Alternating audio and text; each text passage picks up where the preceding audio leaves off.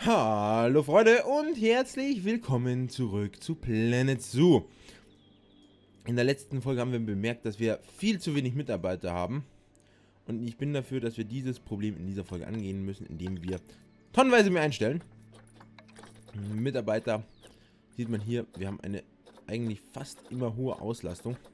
Vor allem bei den Tierpflegern ist es sehr schlimm. Bei den Technikern, ja, geht es. Aber bei den Verkäufern schaut es immer sehr schlimm aus. Und vor allem bei den Tierärzten. Und deswegen müssen wir uns jetzt mal darum kümmern. Jetzt müssen erstmal ein paar Tierärzte her.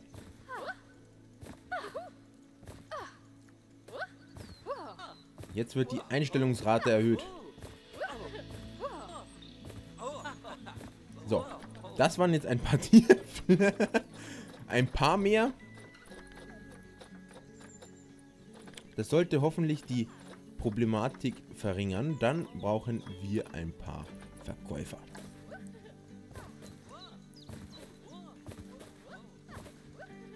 Ihr verstärkt das Team nun und schaut, dass ihr schön immer zusammen bleibt. Ne? Immer schauen, dass wir hier irgendwie ein gutes Team haben. Genau. Die Leute, die haben wir jetzt auch verstärkt. Der Putztrupp war ganz okay, glaube ich. Die Tierpfleger waren ein großes Problem. Und ein Zoo braucht ein gutes Tierpfleger-Team, weil nur ein gutes und happyes Tier... Ja, schade, die ersten haben schon gleich einen Auftrag bekommen. Und die ersten laufen auch schon los, weil es halt viel zu viel gibt. Und ich glaube, die große Einstellungswelle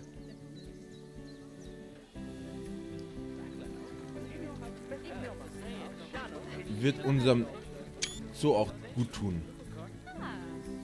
Viele neue Mitarbeiter. Wie viele Mitarbeiter haben wir eigentlich insgesamt aktuell im Zoo? Steht jetzt mal so ein... Die Mitarbeiterräume. Wir haben zwei große aktuell. Mitarbeiter überarbeiten sich nicht so schnell. Äh, was können wir zum Beispiel hier? Machen wir Freiheitsraum. Lernmaterial. Pausenraum. PR-Kurs. Der hier wird oft gebraucht. Wo ist der? Lokalisieren wir den mal. Das ist der hier hinten. Mhm. Dann tun wir hier noch eine weitere Einrichtung hin. Mitarbeiter. Mitarbeiterraum. Welcome to the Planet Zoo Beta. Ich hätte gerne den großen Mitarbeiterraum jetzt zum Beispiel hier noch. Einmal schön gedreht.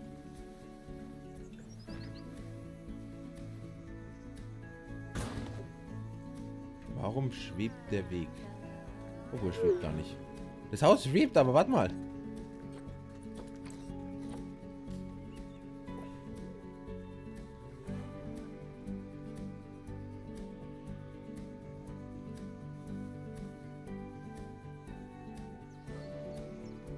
Jetzt schwebt, das schwebt immer noch. Aber okay.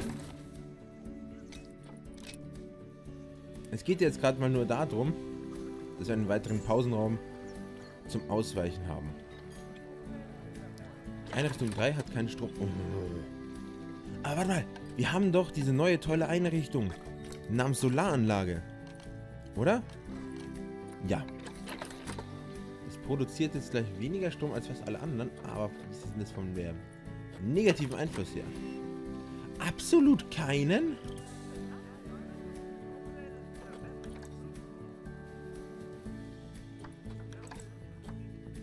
Das wäre grandios.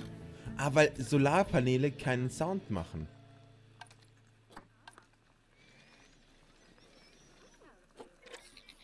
Das ist natürlich sehr praktisch. Das ist, das ist extrem praktisch.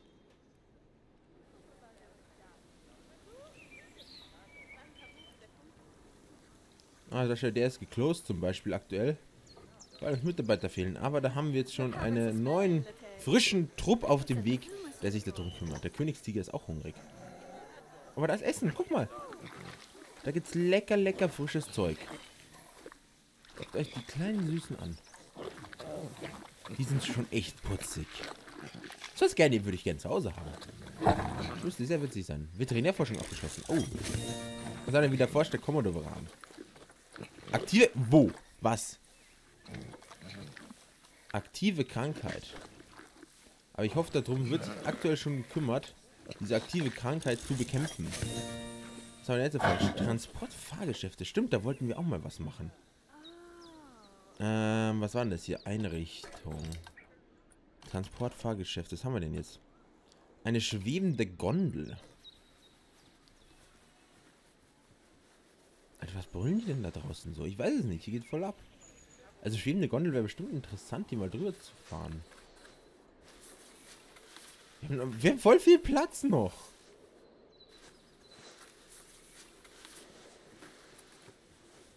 So, aber was ich gerne ausprobieren würde, vor allem weil hier der Eingang ist, ist doch, welche Türen kommen Leute durch? Kann ich, weil es gibt doch hier äh, bauen. Gibt doch irgendwo die Türen auch, ne? Türen. Wenn ich hier eine Tür habe. Können Türen verwendet werden? Ja oder nein? Bedeutet, wir müssen hier einmal... Ich hoffe, Leute verwenden es auch so. Einen Durchgang. Jeweils Wände links. Leute, da ist eine Tür.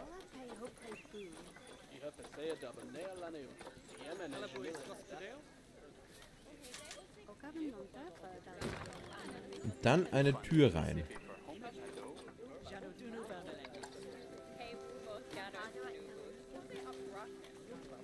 Die kennt das Teil nicht mehr, das ist ja super. Doch, jetzt.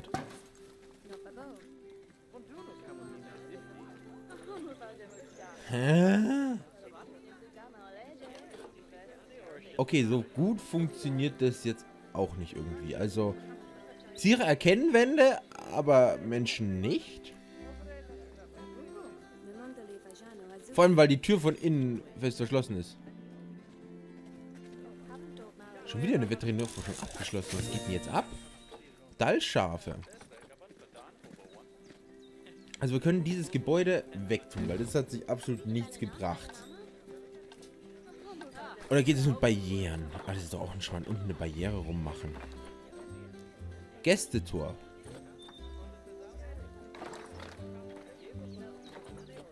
Hölzerne Schienenschleuse.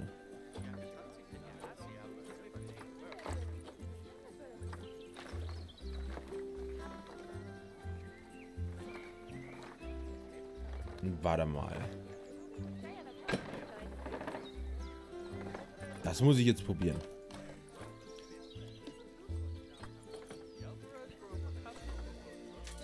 Das ist jetzt die Tür. Bearbeiten. Kann ich das ändern? Und wenn ich jetzt hier Wege nehme...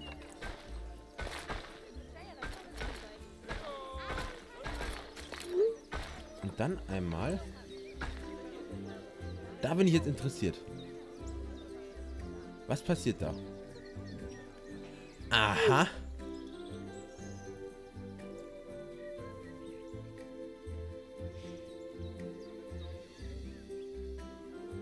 Also rein theoretisch könnte ich könnte ich die Besucher in ein Gehege locken. Das Problem ist, dass die Tür halt nie zugeht, ne? Der stellt eine gewisse Problematik dar, wenn ich Affen reinsetzen will.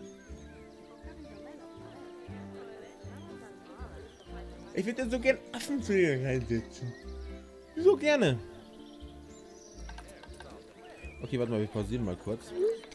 Das Problem ist ja jetzt, dass ich jetzt sozusagen hier den Weg entkoppelt habe. Ich glaube, der war 8 Meter breit. So gut. Das muss ich jetzt wieder entfernen. So. Das ist sehr komisch. Sehr, sehr komisch eigentlich alles.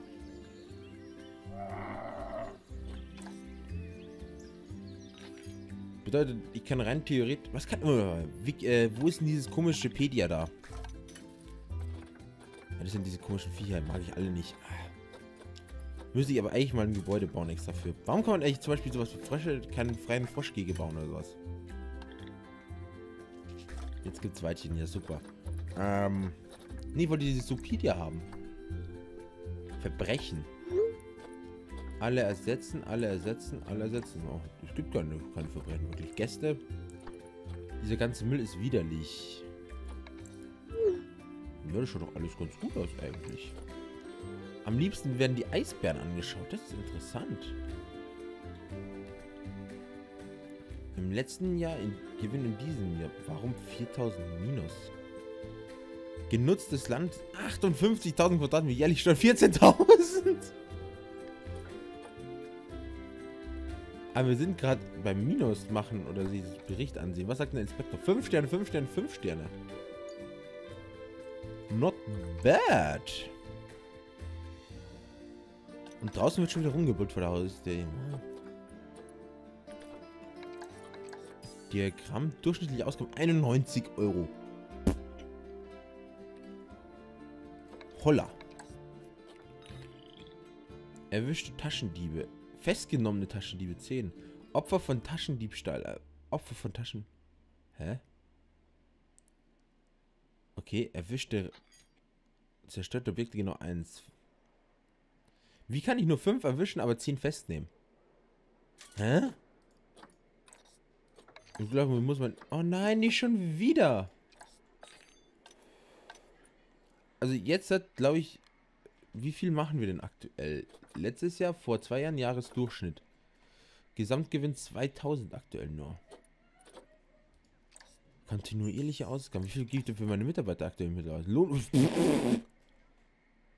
Ich gebe 15.000 mehr aus, ja, dann ist es klar, warum ich keine Kohle mehr habe.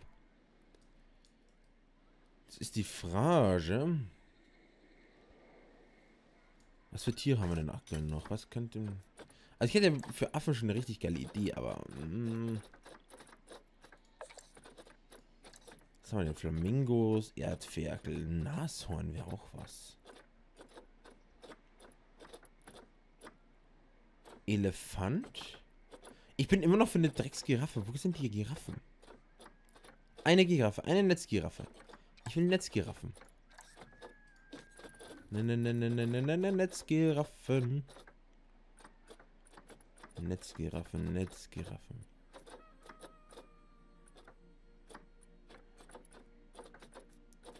Ich würde was gerne machen. Was Großes, was Riesiges. Ungefähr diese Größe einnehmen. Ein Riesenprojekt. Aber dafür brauche ich unser komisches Supedia. Kann man das irgendwie auch so öffnen? Einfach ins, ins Supedia reinkommen. Ich will zum Beispiel einfach Supedia. Genau, da will ich hin. Jetzt sagen wir mal, ich hätte gern was mit afrikanischen Elefanten. Interspezies für Elefanten profitieren nicht davon, mit anderen Tieren den Platz zu teilen. Aber steht jetzt auch zum Beispiel nicht da, mit welchen Tieren sich sie vertragen würden. Das finde ich schade. Weil ich hätte gerne zum Beispiel, dass wir dann... Das sind amerikanische Bisons, da gibt auch keinen Sinn. Aber zum Beispiel halt Giraffen. Wo sind denn jetzt wieder Giraffen?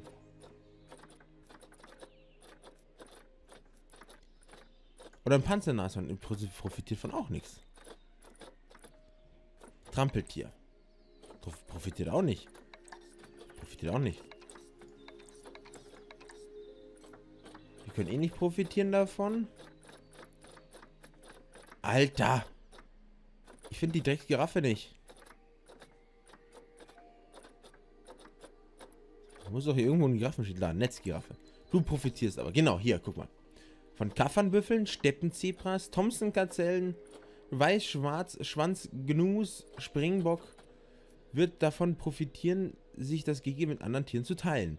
Zum Beispiel einen afrikanischen Strauß. Wenn wir jetzt sagen, wir kaufen jetzt, jetzt Kaffernbüffel, oder haben wir nicht noch Kaffernbüffel sogar? Thompsons Gazellen, glaube ich, haben wir auch. Rappenantilopen, Schwarzschweine, Schwa Schwarzenschweine. Ach, Warzenschweine, scheiße. Und Springbocke und halt das komplette Paket. Und machen hier ein riesiges Afrika-Gehege, wo du mit einem mit, ein, äh, äh, mit dem mit dem Dings durchfahren kannst. Das ist ja doch mega geil, oder? Aber wir haben doch hier die Schwarzgnus schon irgendwie. Nee, das sind Bisons, die wir haben. Was seid ihr nochmal gewesen? Ich vergesse jedes Mal, wie ihr heißt. Wo seid ihr alle? Moment mal. Hä?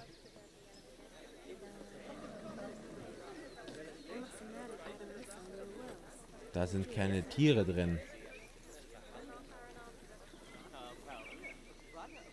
Wo sind die Tiere hin? Beziehungsweise, was war da drin? Okay, das ist jetzt natürlich blöd. Aber es zeigt nur umso mehr, dass es eigentlich wichtig wäre, jetzt sowas zu bauen. Bedeutet, wir müssen eigentlich rein theoretisch hier ein so ein riesiges Gigi machen. Also wirklich riesengroß.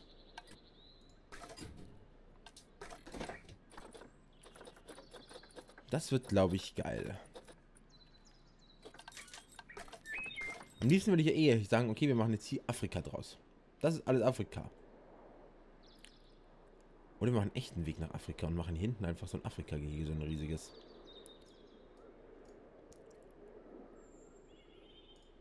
ist ja halt extrem weit, ne? Ne, wir, wir bauen erstmal hier. Barriere. Und dementsprechend passende Barrieren. Nicht erklimmbar. Nicht wasserdicht. Ach so. Erklimmbar, blickdicht.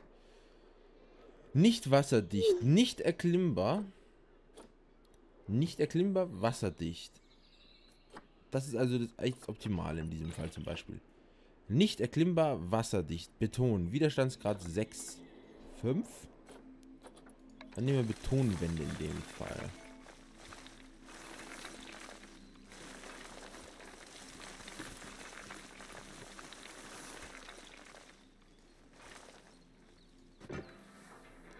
Auf volle Länge.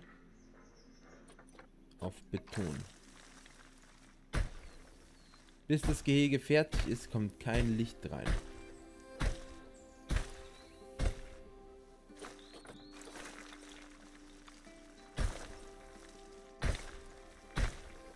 Natürlich soll man auch außen rumgehen können. Gott, das wird riesig.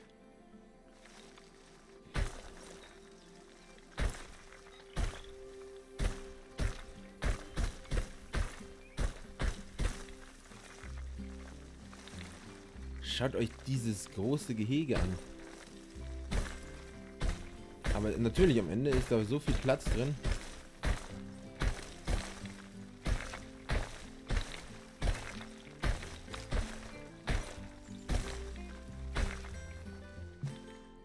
Das ist mal blockiert.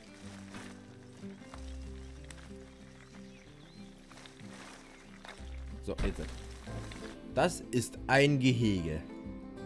Und zwar The African Lifestyle.